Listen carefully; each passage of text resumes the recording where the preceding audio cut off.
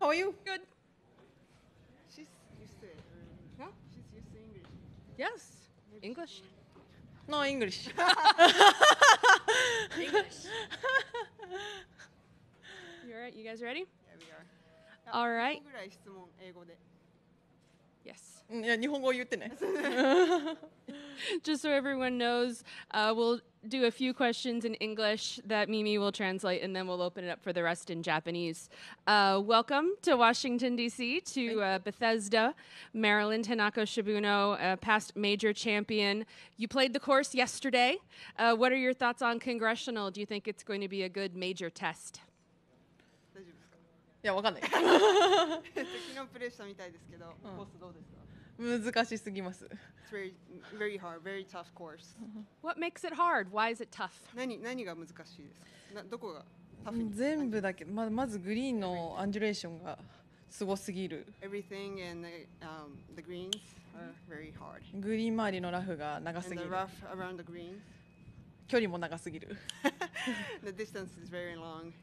Oh, do you th- so this is a long course. How do you think it will work for you? Do you think this is a good course for you?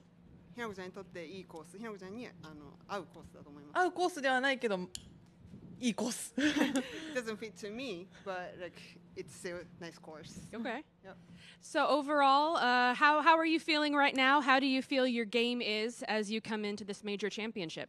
まあ今どんな気持ちですか今週どういう感じであ 調子があうーん調子はまだ微妙ですけど4日間回りたいです。 My, my game is not very good still, but um, maybe, uh, I wish I can play four days until the weekend. Well, I hope you do too. We love having you here. Thank you. ここにいてほしいんで Thank 4 you. 日間できるように頑張ってください。 Thank you. We'll open it up for questions. Let me look. Reiko on the far end. お疲れ様でした。はい、ありがとうございます。えー昨日回られて 18ホールだけ。はい、回りましたまあ。今おっしゃってましたけども、一番どの辺が難しいですか？いやーやっぱグリーン乗せるショットがかなり難易度高いかなっていうぐらい本当にアンジュレーションがすごいのでもう乗せ乗れば OK ぐらい思っとかんといけんかなっていう感じですねやっぱもうよ4つぐらいに割っていかないと。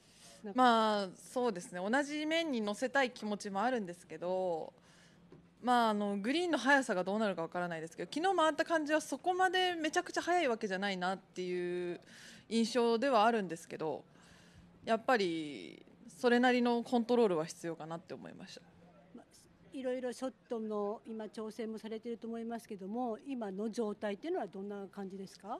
うんまあ試合やってみんとわからないですけどまあよくはないですねどの辺が一番気になったりとかししてますか？ショットですか？うんうんどの辺が？じゃあ先週はティーショットだったんですか？ティーショット今1日目がティーショット悪くて2日目はまあ全体的にショットの感じは悪くなかったけど、まあ、パターも入らずって感じで全体的にまとまらないっていう感じですね。はい お願いしますお久しぶりです。まあ、ここのコースはもう今までずっと男子の、まあ、メジャーだったり、はい。PGA ツアーが行われてきた場所なんですけど、はい。まあ、木もだいぶバッサリ切られて雰囲気が変わってるんですけど、はい。例えばマキロイが勝った時の全米オープンとかなんかテレビで見たとかあります？いや全然わかんないですね。じゃあもうこのコースの印象っていうのは特に？もう全くないです。昨日回ったので初めましてです。うんうん。何が一番こう鍵になってくるんですかね？うーんそうですねやっぱりセカンドショットだったり、えーパー5のサードショットだったりパー5も距離が長いのでどれだけ、まああのパー5で伸ばせるかっていう感じではありますし長いパー4も多いのでそこでどれだけ耐えれるかっていうのでやっぱパーオン率っていうのが結構高い人が有利かなっていうふうには感じました。まあ、ちょっとこうヒースみたいな感じのとこもあって、うん。やっぱそういうところに打ち込んじゃうとちょっとティーショットもねきついかなと思うんですけど。そうですね、ええ。いや。その辺はどんな感じですかね？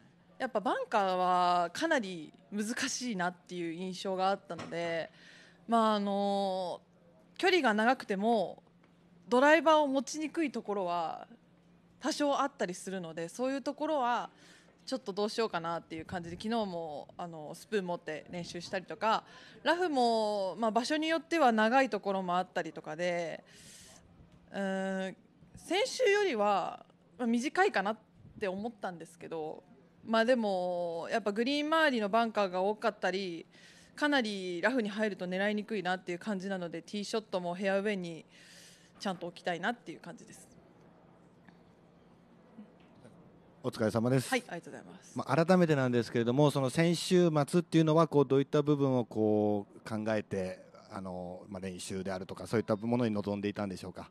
先週、まあ、土日ってこと土日とかですね。まあうはい。何も考えてないです。じゃあ特にこう何かをこう、はいこう集中して修正したとかそういうことではなかった。そうですね。とりあえずぼーっとしてました。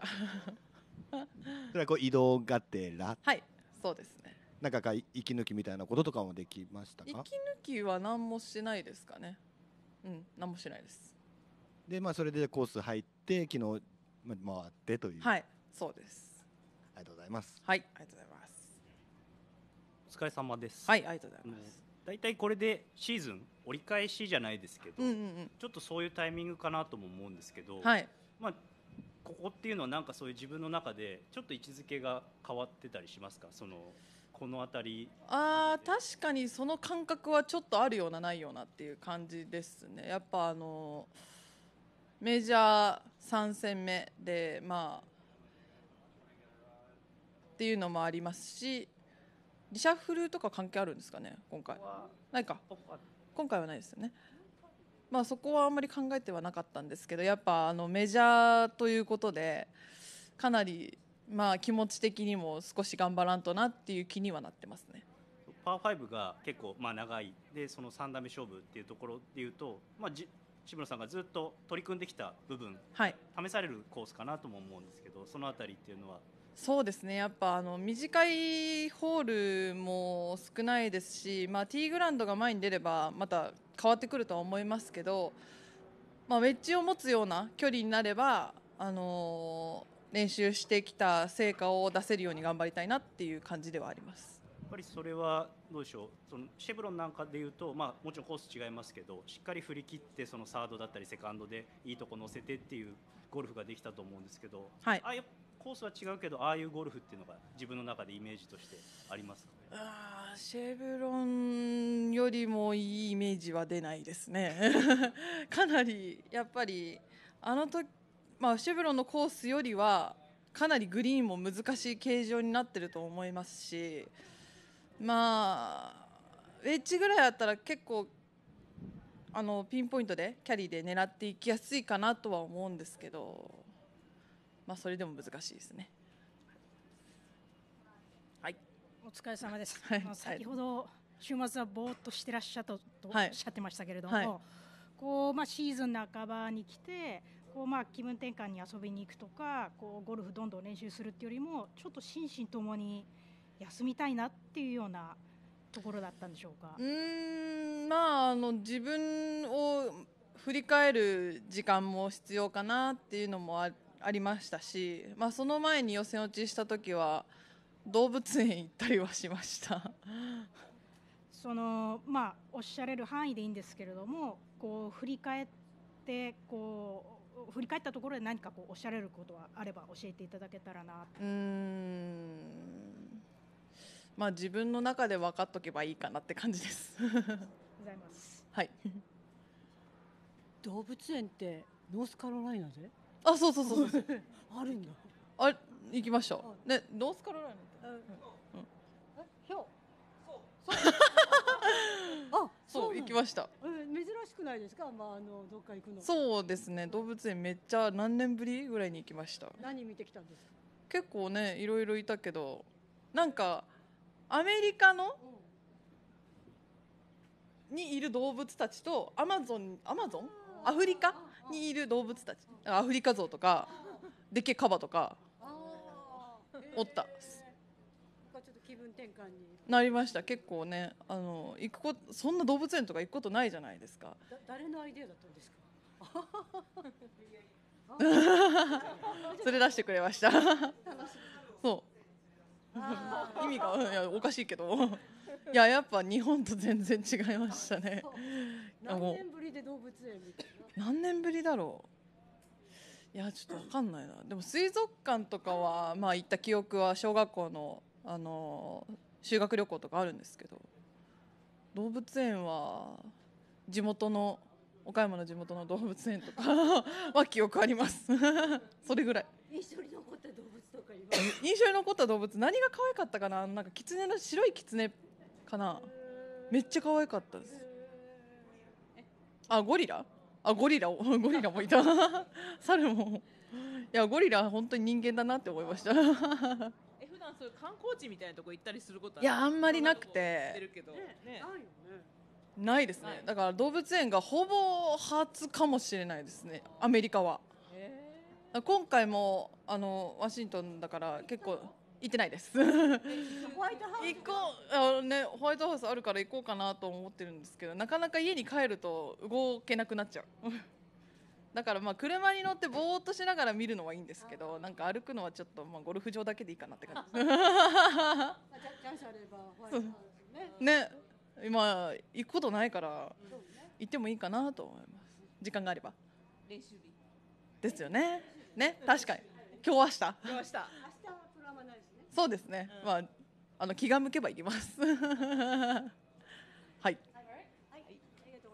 Thank you ありがとうございます。